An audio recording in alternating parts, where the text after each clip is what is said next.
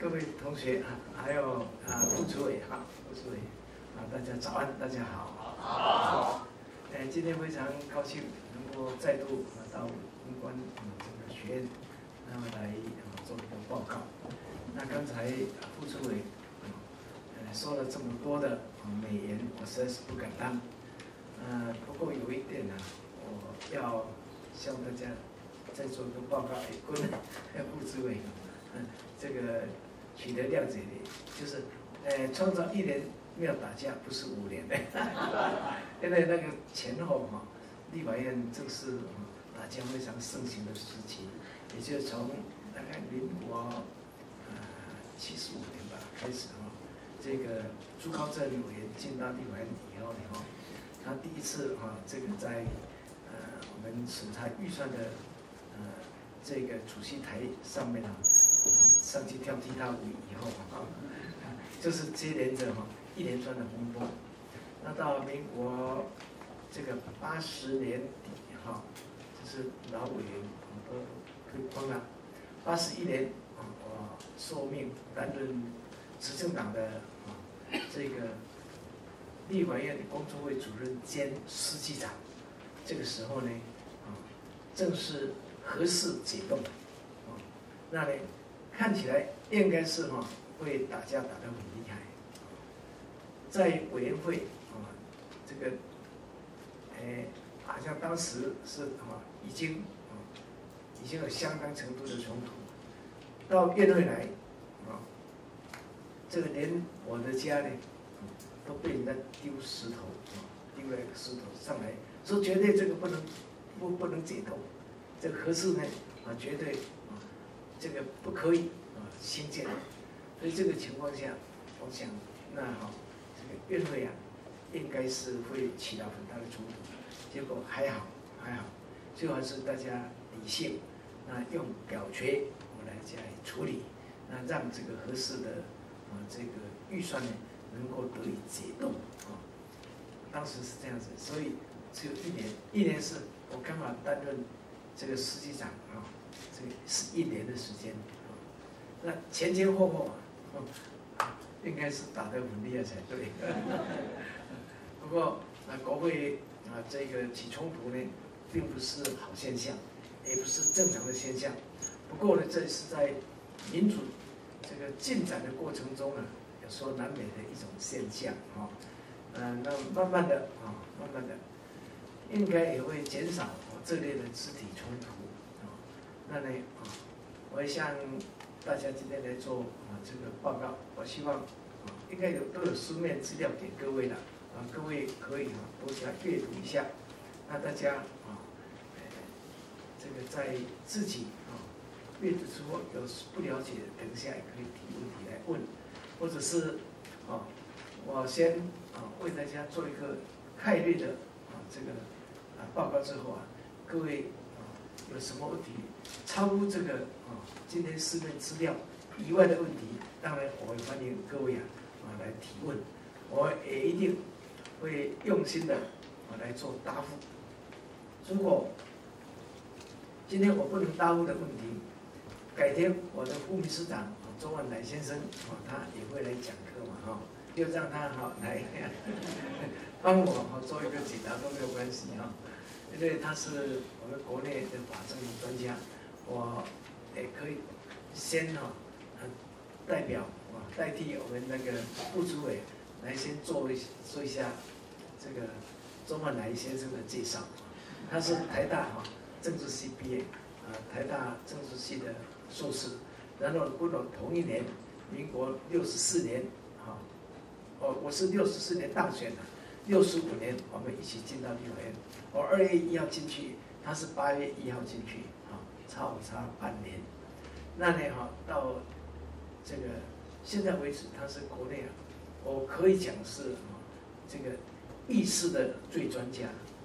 意识呢要找这样一个专家是找不到了。那各位或许有很多理论上啊比他还好的人都可能有，但是你真正在立法院的意识哈，那是真的千变万化，非常复杂。同样的这个议事规则。你可以解释这样，我偏偏解释这样子，要怎么样啊，最后呢，我们总是这个由议政的专家出来表达一些意见，再根据啊那里哈他的意见，我们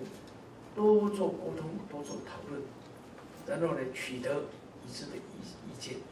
然后才能够来运用这一条的啊这个议事规则。事实上，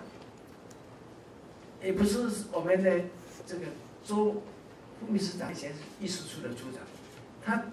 所解释的啊这个意思呢，全部都为大家所接受，也没有办法，也没有办法。所以这个中间呢，有很多的啊这个呃反正不足为外人道的一些这个冲突存在。那像我们的这个法治法治局也一样。法治局啊，他当然对各种法律做一个见解的评估，或者是呢，啊，对我们啊这个立法院，我们各种组织啊各种呃这个啊啊议事规则啊我们我们的这些啊这个啊职的功能啊等等这些呢，他们都有权威性的解释。但是呢，我可以讲一个很实际的例子，每一次。把自己所做的法律上的解释，也不一定为啊这个民进党所接受。那种哦，这个剑拔弩张的一个气氛啊，实在是啊，还不是在座各位可以理解到的。那这样子呢哈，反反正立法院是一个多元意见的场所。那每个党团、每个委员，他们所代表的。后面的民意或者是党的利益、党的主张，啊，都不同，那呢，形成很多的互相对立，所以呢，这立法院的冲突是绝对难免的。那么呢，我们周副秘书长呢，他是在讲哦，是相当权威的，而呢，啊，一般的在讲哈这个有关议政课的呢，哈。我想他们都是理论的多了，实际上要有经验的，我看没有了。而我们周公密呢，他是对于整个意识的哦，这个几十年代的过程很清楚，而且他的意识范例啊，啊，他本身就是一个活字典，他本身呢注重很多，那里啊，他在大学也教宪法，也教这个意识的啊这个课程都有，那。他本来有机会到考试院来当考试委员，但是还是我呢一直要把它留下来，啊，我把它一直留下来，所以哦，我们没有让他去当考试员，还是留在立法院的。我跟相关当局讲，这是为整个国家好，因为呢，哦，立法院的真正核心工作是在这个所谓的意识。所以我们这个周副秘啊，实在是我们立法院之宝，立法院之宝。那今天我看到很多我们的啊，像吴荣全先生啊，我们的呃国国税局南区哈，这个许局长啊等等哈，大大家都在场哦，大家觉得都是高阶。那当然这是一个所谓啊，呃，我们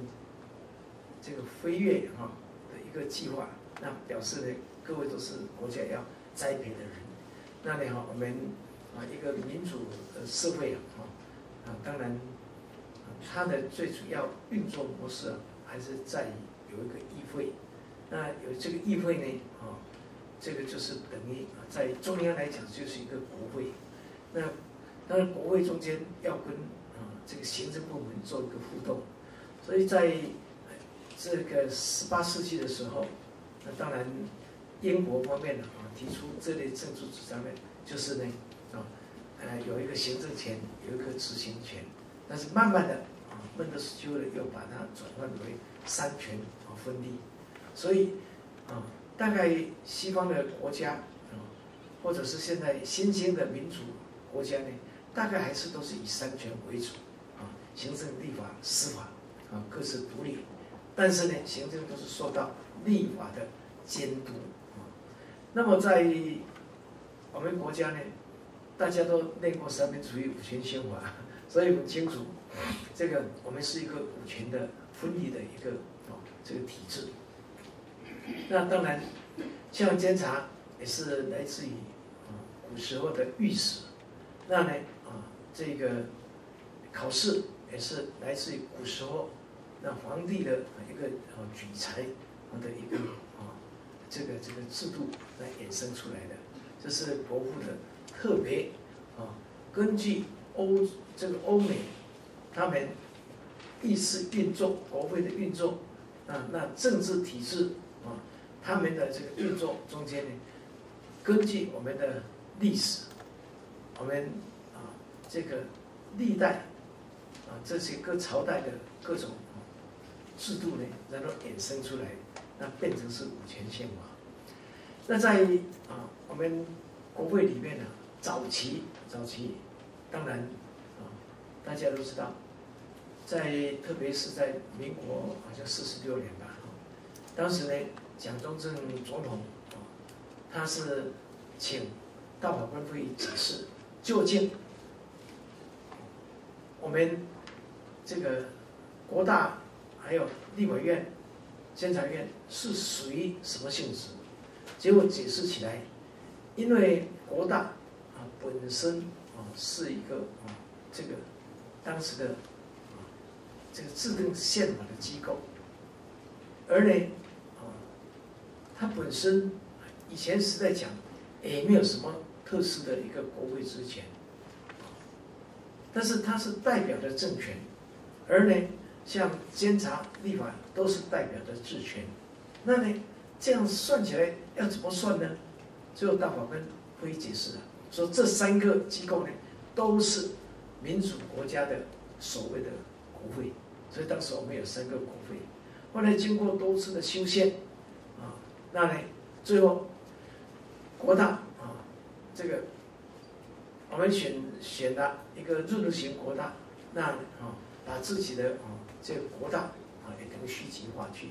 然后再经过立法院的这个立法，然后呢也等于哈把废除了国大，啊这机构变成没有，但是国大呢在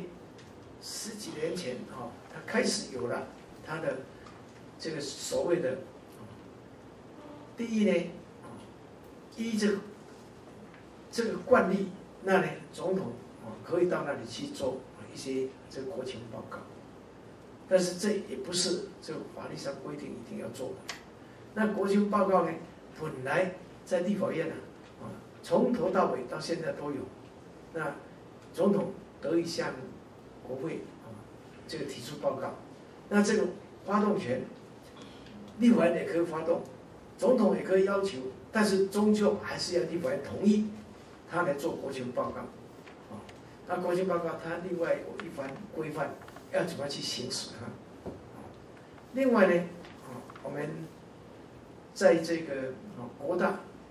后来真正给他执行的是有人事的同意权，像以前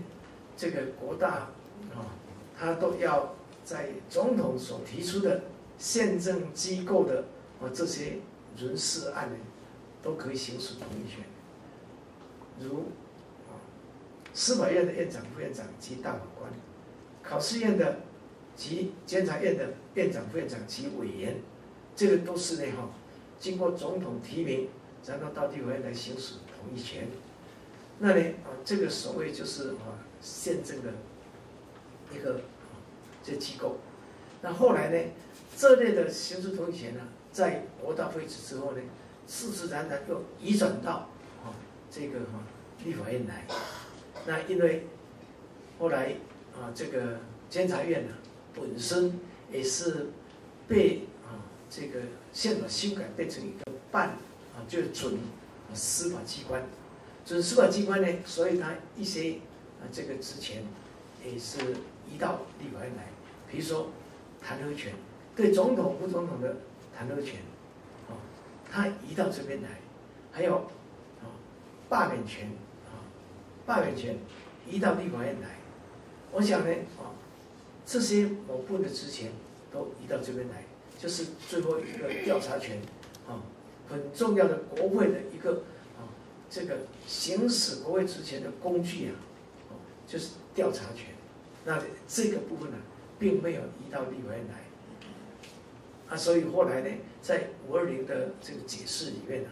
那再赋予立法院有一定程度的一个调查权。这个调查权就是啊，包括我们的调阅文件啊，你们各机关呢，立法院或许啊有时候会做一个决议去调阅某些啊这个资料文件。那呢啊，接着啊就是听证权，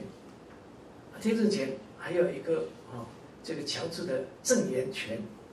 这是三个权呢，哦，合起来就是所谓的调查权。那呢，